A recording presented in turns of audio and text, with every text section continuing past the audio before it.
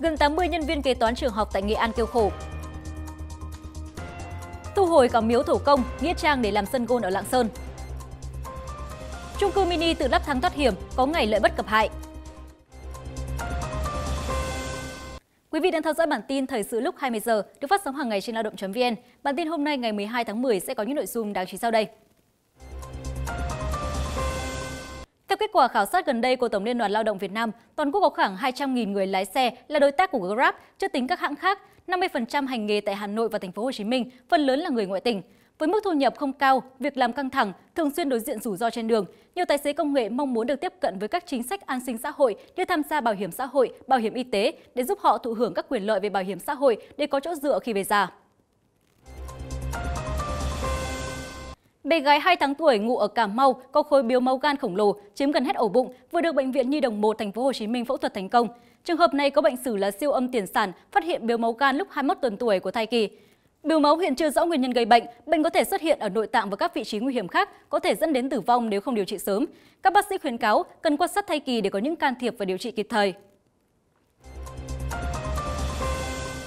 Phản ánh tới báo Lao động, người dân xã Hoàng Đồng, thành phố Lạng Sơn, tỉnh Lạng Sơn bày tỏ bức xúc khi bị thu hồi nhiều phần đất tâm linh như miếu thổ công, nghĩa trang để làm sân gôn Hoàng Đồng. Để làm rõ thông tin người dân phản ánh, phóng viên báo Lao động đã nhiều lần liên hệ với Ủy ban nhân dân thành phố Lạng Sơn, Sở Tài nguyên và Môi trường tỉnh Lạng Sơn nhưng không nhận được câu trả lời. Thưa quý vị, trước thực trạng các vụ tai nạn giao thông liên quan đến học sinh ngày càng gia tăng, nhiều địa phương đã có kiến nghị bổ sung quy định bắt buộc học luật với người điều khiển xe đạp điện, xe máy điện, xe dưới 50 phân khối. Thông tin này đang nhận được nhiều ý kiến đồng tình của người dân. Có thể hợp lý với trường hợp là mình đưa vào ừ, chương trình ngoại khóa hoặc là xen vào những cái tiết ừ, kỹ năng sống hoặc giáo dục công dân như kiểu trường em có những cái đấy thì nó cũng có thể có ích tại vì khi mà các bạn được tiếp nhận cái kiến thức từ việc mà phải lái xe an toàn và mình chưa đủ tuổi thì có thể là sẽ phòng chống được tai nạn hoặc là các bạn sẽ ý thức hơn trong việc mà tham gia giao thông. Nhiều phụ huynh cho rằng nhà trường cần tăng cường hướng dẫn, giảng dạy về kiến thức lái xe từ lý thuyết đến thực hành để nâng cao kỹ năng lái xe gắn máy an toàn cho học sinh. Dạy lái xe cho các con ở trong trường cấp 3 ấy thì tôi nghĩ là cũng nên dạy nhưng mà dạy ở thời điểm nào, dạy như thế nào thì tôi nghĩ là cũng phải cân nhắc. Đấy, thì để cho các con có ý thức mà vẫn à, khi mà tham gia giao thông ấy, thì mình có những cái cái điều kiện cần thiết điều kiện và kỹ năng cần thiết để mà khi mà tham gia giao thông mình có tránh được những cái tai nạn. Đi đường bây giờ các cháu nhiều nó lạng lách nhiều lắm. Cho nên là mình phải phổ biến làm sao để cho các cháu nó được uh, hiểu luật và an toàn nó cao hơn. Để cho các cháu nó được ờ, trưởng thành về trong cái vấn đề tham gia giao thông phụ huynh yên tâm hơn. Sau vụ cháy trung cư mini tại ngõ Khương Hạ, Thanh Xuân, Hà Nội, nhiều chủ các trung cư mini cao tầng đã thi nhau lắp đặt thang thoát hiểm. Điều này tiềm ẩn nhiều rủi ro mất an toàn khi phương án thoát hiểm là tự phát, chưa đảm bảo về tiêu chuẩn kỹ thuật. Cần khẳng định rằng, việc trang bị những phương tiện để phòng ngừa rủi ro khi cháy nổ là hết sức cần thiết.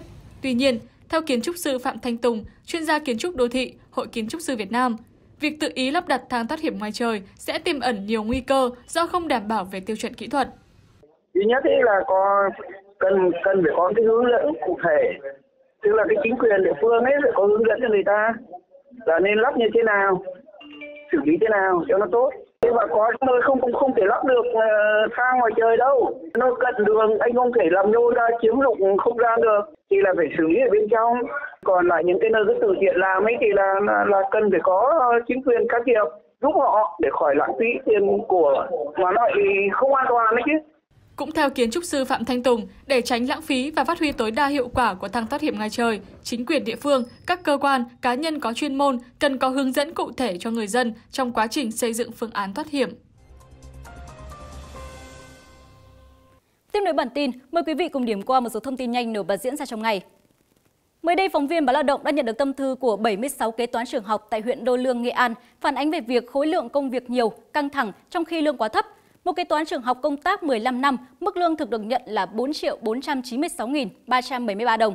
Trong khi đó không có phụ cấp nghề, phụ cấp thâm niên, nhiều năm liền không có kỳ thi chuyển ngạch. Trao đổi với báo Lao động, ông Trịnh Trung Úy, Chủ tịch Tập đoàn Việt Thuận, một trong những doanh nghiệp vận tải biển lớn nhất cả nước, đơn vị vừa đầu tư đóng cặp siêu du thuyền lớn nhất Vịnh Hạ Long cho biết, con tàu du lịch thứ ba sẽ là siêu du thuyền, đủ tiêu chuẩn hoạt động trên khắp thế giới. Tập đoàn sẽ khởi công đóng siêu du thuyền với tổng số vốn hơn 1.000 tỷ đồng vào năm 2024 và dự kiến hoàn thành vào năm 2026. Thời gian qua, trên mạng xã hội xôn xao câu chuyện cảng hàng không quốc tế Nội Bài thu phí gửi xe 1,4 triệu đồng của người đã chết. Thông tin vấn đề, đại diện cảng hàng không quốc tế Nội Bài cho biết, sáng ngày 12 tháng 10 năm 2023, lãnh đạo cảng hàng không quốc tế Nội Bài đã cử đoàn cán bộ về Nam Định để thăm hỏi, động viên gia đình và thắp hương cho người mất, đồng thời quán triệt người lao động, báo cáo kịp thời mọi tình huống bất thường để có những ứng xử phù hợp. Thông tin vừa rồi đã khép lại bản tin thời sự lúc 20 giờ của báo Lao động. Cảm ơn quý vị đã quan tâm theo dõi. Xin chào và hẹn gặp lại.